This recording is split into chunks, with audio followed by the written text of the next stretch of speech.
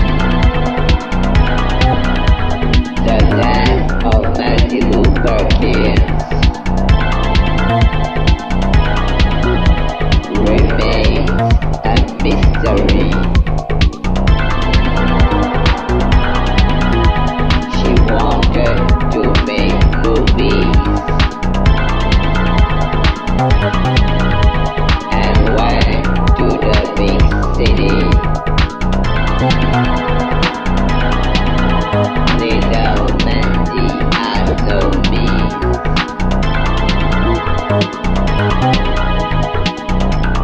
But she had ideas